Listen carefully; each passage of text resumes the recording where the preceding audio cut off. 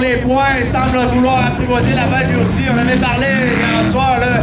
Il vouloir faire des ajustements cette semaine. Avoir une meilleure portée sur le, le coin du terrain qu'on porte pas toujours avec euh, les roues d'en arrière.